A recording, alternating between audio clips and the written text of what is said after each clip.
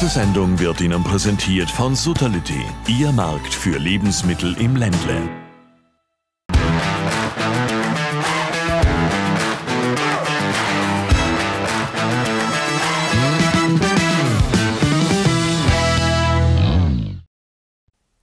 Ich grüße Sie herzlich willkommen hier beim Ländle Sport, präsentiert von Sutolütti auf Ländle TV. Wir schauen heute zurück auf das Jahr 2021. Dieses Jahr neigt sich dem Ende. Grund genug für uns, einen kleinen Jahresrückblick zu präsentieren und wir erzählen das Ländle Sportjahr mit zwölf unserer Studiogäste, die 2021 hier bei uns zu Gast waren. Und unsere erste Station, die heißt Alltag. Beim SC Alltag da ist nämlich momentan alles andere als Weihnachts- oder Neujahrsstimmung.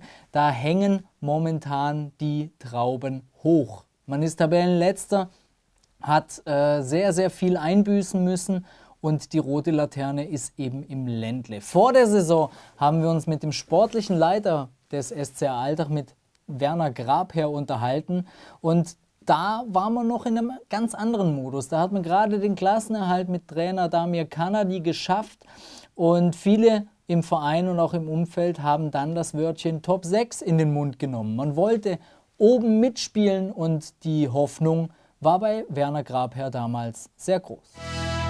Werner, eure Zielvorsätze für die kommende Saison. Auf welchem Tabellenplatz können wir den SCR Alltag am Ende der Saison bzw. am Ende des Grunddurchgangs einordnen? Ja, bin da wahrscheinlich wie jeder andere Fan äh, voller Hoffnung und sage, wir, wir spielen dann im nächsten Frühjahr das obere Playoff. Aber jeder, der jetzt in den letzten Jahren diese, diesen Liga-Modus beobachten konnte, weiß, wie eng es hergeht, äh, wie viel es braucht, um dann auch äh, in den ersten sechs zu stehen. Und für alle anderen sechs äh, beginnt die Meisterschaft dann immer irgendwo im März nochmals von neuem. Und, und so muss man einfach auch denken, so muss man das Ganze sehen. Wir haben jetzt die Chance, über 22 Runden uns einen Platz zu, zu erarbeiten.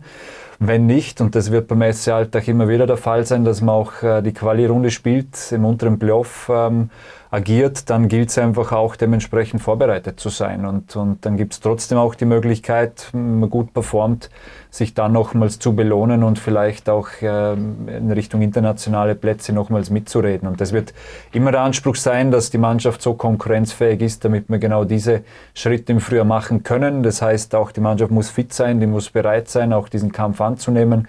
Ähm, und das gilt es halt auch in der Kaderplanung immer wieder mit, mit reinzunehmen.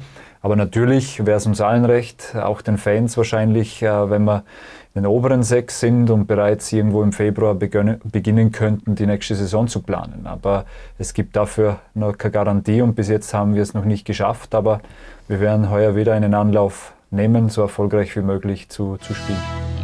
Es kann sich sehr, sehr schnell ändern im Sport. Und Werner Grabherr war das zweite Mal dann bei uns im Sportstudio. Da äh, waren dann noch drei Partien in der Bundesliga-Hinrunde zu spielen und da sah die Stimmung dann schon ganz anders aus.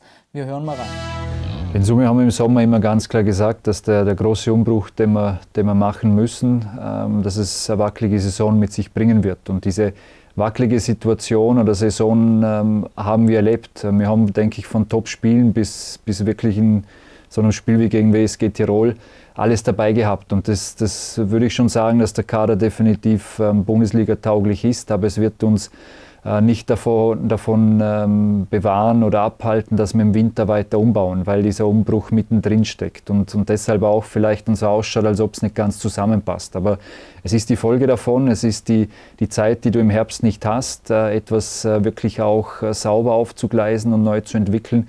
Und deshalb ist für uns jetzt der, der Winter sehr wichtig. Und ähm, denke, dass einige junge Spieler richtig gute Entwicklung gemacht haben, das auch in den Spielen zeigen, dass, dass da sehr viel weitergeht, dass die auch sehr gut da reinpassen. Aber definitiv gibt es Spieler, von denen wir uns alle mehr erwartet haben, sie von sich selber auch. Und deshalb sind wir alle sehr selbstkritisch. Aber wir wissen auch, Fußball ist Tagesgeschäft und das kann sehr schnell gehen.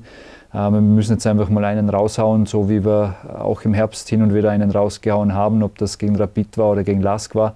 Aber wir, es ist uns nicht gelungen, das über konstant äh, mehrere Wochen dann auch wirklich abzurufen. Und da sind wir nicht, nicht stabil, da sind wir nicht, nicht konstant genug. Und, und deshalb ist das in meinen Augen das größte Problem. Und, und da kommen dann auch Ausschlüsse und Sperren äh, kleine Verletzungen nicht wirklich entgegen, weil wir hatten die Phase, wo wir sehr stabil waren und haben es dann über die Ausschlüsse und Sperren ähm, selber auch wieder, wieder verpasst, da in diesem Fluss zu bleiben.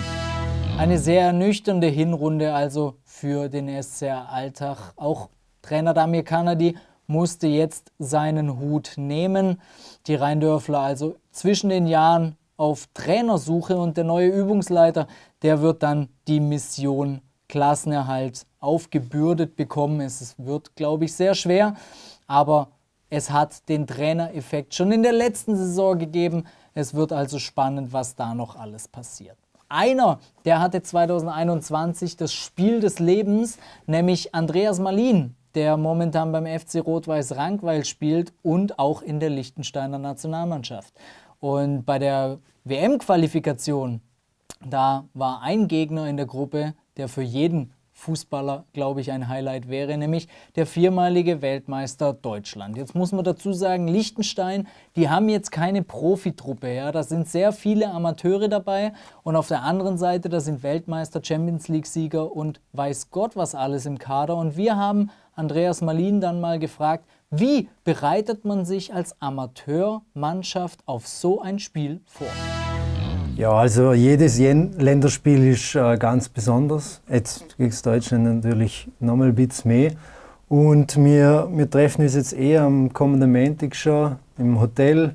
Äh, und dann hat man wirklich äh, äh ausreichend Zeit, um sich auch mental vorbereiten auf solche Spiele, dass man halt den Alltag, äh, das Schaffen und so ausblendet. Und es ist schon eine ganz andere Vorbereitung wie jetzt im Verein weil dort ja, bist halt untertags am Arbeiten, gehst dann noch ins Training und da hast du wirklich Hotel, äh, Essen zusammen, Training, Besprechungen und da, da bist du natürlich schon besser vorbereitet, sage ich jetzt, wie im Verein, aber hast natürlich auch dementsprechend bessere Gegner. Bei wem es momentan sehr, sehr gut läuft, das ist der SC Austria Lustenau. Die sind in der zweiten Liga auf Platz 1, somit auch Winterkönig und schielen schon so mit einem Auge in Richtung Bundesliga.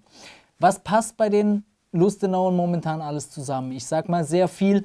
Der Sturm hat sehr, sehr viel Qualität, auch sehr viel Qualität in der Defensive.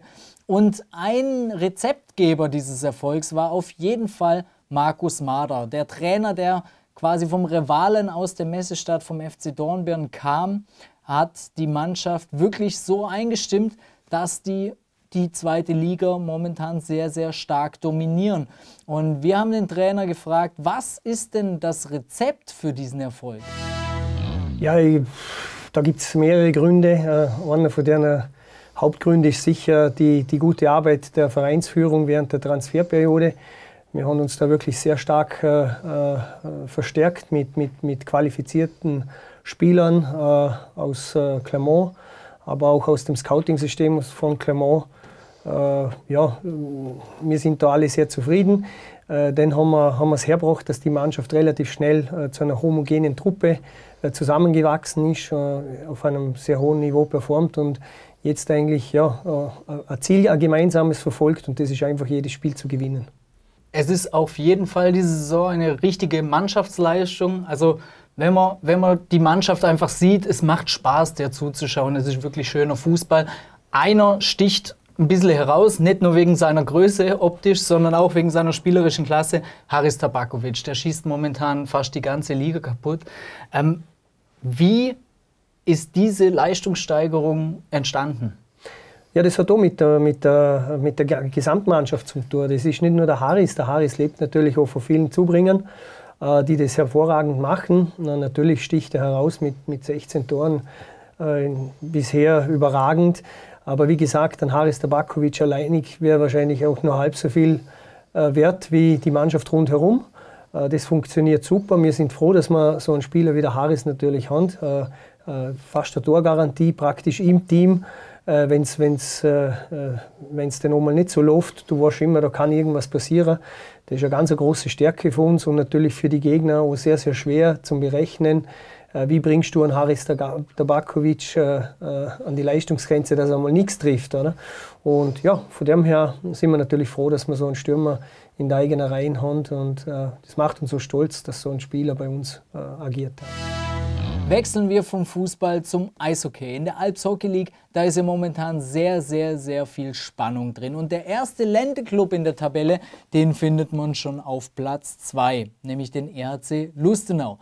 Die sind vergangene Saison österreichischer Meister geworden und wollten an diesen Erfolg natürlich anknüpfen. Und momentan sieht alles danach aus, dass man auch diese Saisonziele heuer schaffen wird. Es sieht alles gut aus und wir haben vor der Saison mit Herbert Oberscheider, dem Präsidenten des ERC Lustenau, gesprochen und ihn mal gefragt, was sind denn seine Favoriten in dieser Liga und ist sehr interessant. Sicher ist äh äh, Asiago, äh, ganz ein starkes Team. Jesenice, ganz ein starkes Team. Zell am See hat brutal aufgerüstet. Also im Prinzip da vorne kann viel passieren. Äh, Repul Salzburg ist immer mit dabei, weil sie so einen tiefen Kader haben und eine Farmteam-Lösung haben mit Salzburg. Äh, Wald äh, mit Dornbirn zusammen ist auch jedes Mal ein Thema, wer spielt heute. Oder? Die haben eine ganz klare, einen ganz klaren Plan als Ausbildungsstätte, aber können immer gefährlich sein, wenn sie vor Oberdaum Spieler kriegen. Also im Prinzip glaube ich, äh, so wie es letztes Jahr auch ist, dass jeder jeder schlagen kann. Natürlich brauchen die, die schwächeren Teams gegen die besseren Teams sicher einen guten Tag. Aber äh, man darf eines nicht vergessen, in unserer Mannschaft sind bis auf fünf Profis alles Amateure. Also die können alle acht Stunden arbeiten. Ein bisschen hat sich der Präsident da vertan, wenn man heute auf die Tabelle schaut. Aber Glück, sage ich mal, für den EHC Lustenau, weil die sind momentan Tabellenzweiter und es sieht alles nach einer sehr, sehr erfolgreichen Saison aus. Anders äh, die VU Feldkirch, die kommt zwar so langsam in den tritt und äh, in die Liga, aber dennoch musste da sehr, sehr viel Lehrgeld bezahlt werden und man brauchte auch die Geduld mit dieser sehr, sehr jungen Mannschaft. Und einer, der das schon vor der Saison so ein bisschen durchklingen lassen hat, war Trainer Michael Lampert. Wir hören mal rein. Ich denke, uns muss einfach klar sein, äh, das ist, ist, wird sportlich ein schweres Jahr für uns. Wir haben eine sehr junge Mannschaft. Äh, wir, wir werden, wie gesagt, jedes Spiel alles gehen, das ist klar. Aber wir werden sicherlich das ein oder andere Spiel Lehrgeld äh, bezahlen. Und in der Liga kommen italienische Nationalspieler, slowenische sehr, sehr gute Spieler, Österreicher, die frühere Nationalspieler waren. Also die, wir werden sehr zum Tor dass wir da mithalten können. Und uh, unser Ziel ist das irgendwo da, dass wir in der Mitte, in der Mitte der Liga irgendwo das schaffen und das wäre, glaube ich, schon ein richtig gutes Ziel.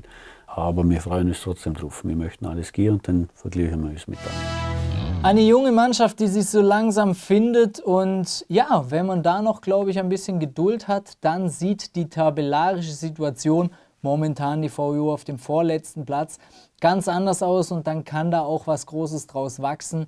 Getreu nach dem Motto zurück zu alter Stärke. Das war auch das Motto in der Landeshauptstadt bei Bregenz Handball. Der Rekordmeister aus Österreich wollte eben zurück zu dieser alten Stärke. Äh, jetzt hat es erstmal eine kleine Niederlage gegen den HC Hart äh, gegeben. Die tut natürlich doppelt weh, denn es ist das umkämpfte Ländle-Derby gewesen.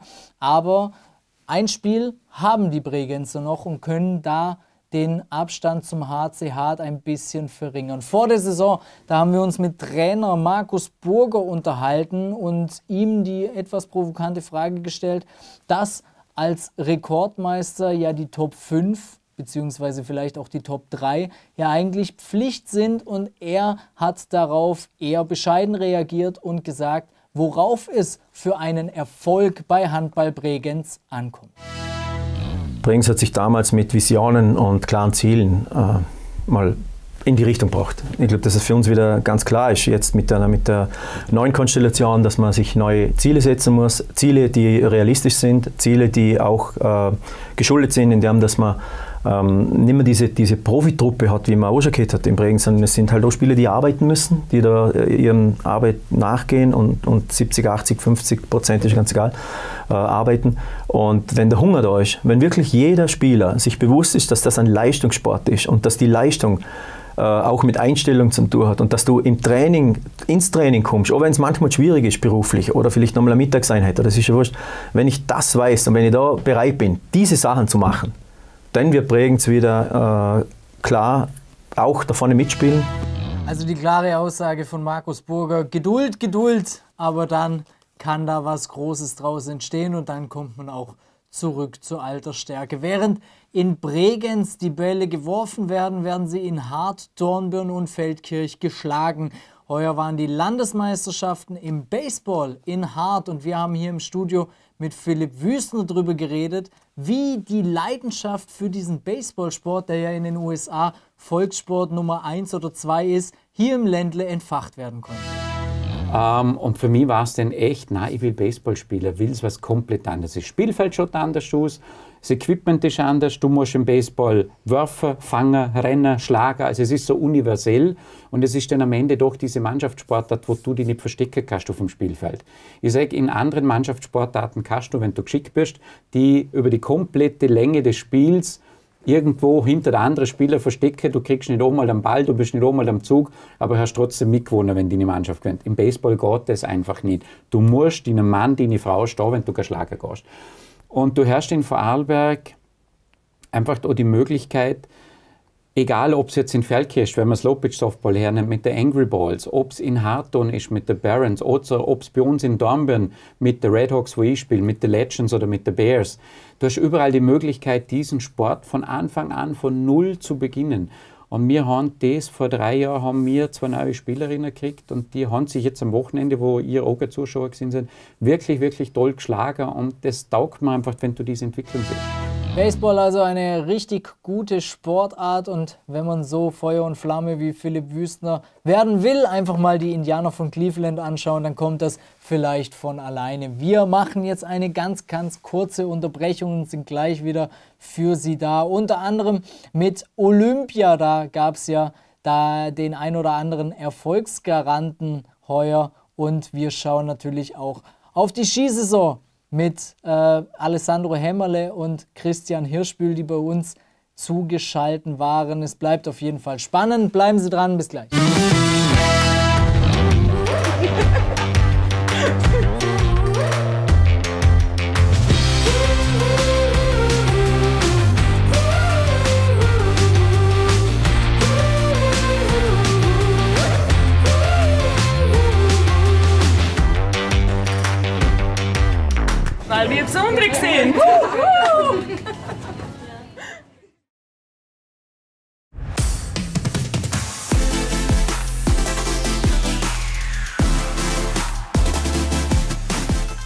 Weil Ihre Sicherheit etwas ganz Persönliches bedeutet, schaffen wir einen Ort, wo sich Erfahrung und Innovation treffen. Die Wälder Versicherung ist seit 1798 für alle Hüsliburger da. Alle Entscheidungen werden bei uns Zahnspur getroffen und wir reden die gleiche Sprache wie alle unsere Kunden.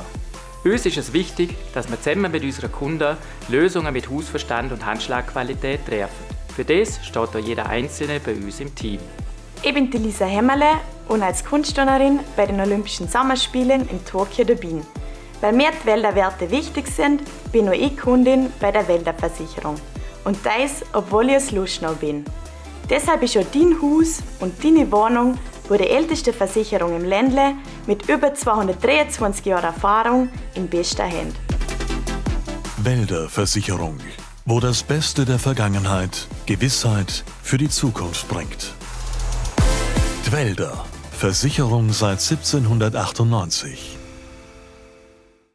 Eigenheim macht dich froh. Sie haben einen Baugrund zu verkaufen, wollen Ihre Nachbarliegenschaft aber nicht durch eine Wohnanlage entwerten? Golob Immo sucht Grundstücke ab 350 Quadratmeter und bietet Bestpreise. Mit der Erfahrung von weit über 1000 abgewickelten Bauvorhaben steht der Name Golob Immo für Top-Beratung beim Thema Hausbau. Golob Immo, Ihr fairer Ansprechpartner mit Handschlagqualität. Rufen Sie uns an. Wir kaufen Ihr Grundstück und bauen Einfamilien- und Doppelhäuser und keinen Wohnblock. Bregenz. Figur- und Muskeltraining.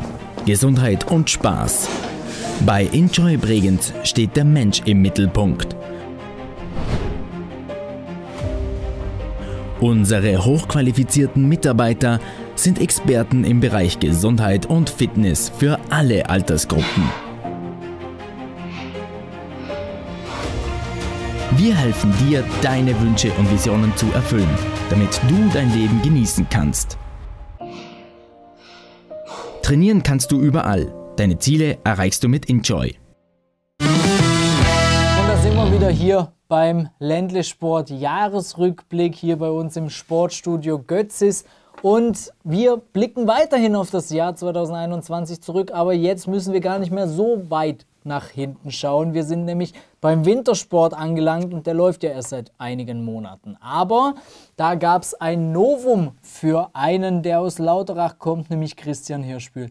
Der erste Weltcupsieg und das dann noch zu Hause in Lech Zürs. Beim Parallelslalom hat er erst den Henrik Christoffersen geschlagen und hat sich dann noch im Finale durchgesetzt. Und da haben wir ihn natürlich auch zu uns ins Studio geschalten und ihn mal so gefragt, hey, wie ist das eigentlich, wenn man durch die Ziellinie oder über die Ziellinie fährt und weiß oder realisiert, man hat den Heimweltcup für sich entschieden?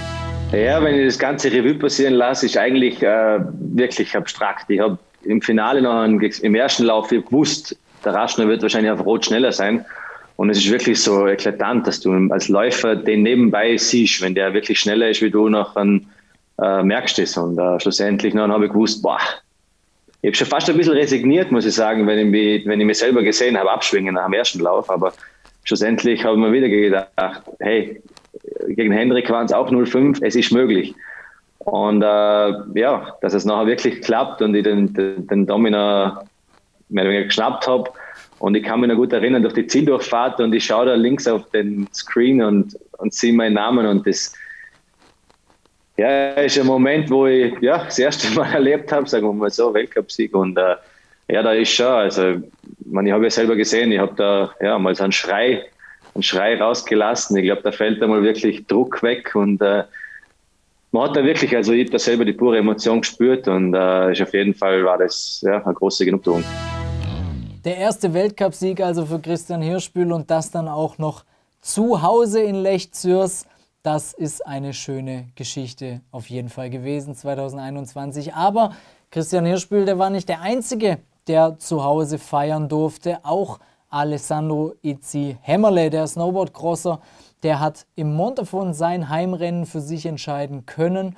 Und das ist auch sehr interessant im Hinblick auf die fünf wichtigsten Ringe im Leben eines Profisportlers, nämlich die Olympischen Spiele. Die fangen jetzt Anfang Februar an und da wird Alessandro Hämmerle im Snowboardcross auf jeden Fall in der Favoritenrolle stehen.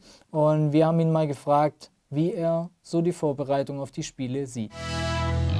Ähm, ja, ich habe Glück, dass ich schon mal zweimal bei den Spielen war und ein bisschen Erfahrung äh, doch mitnehme.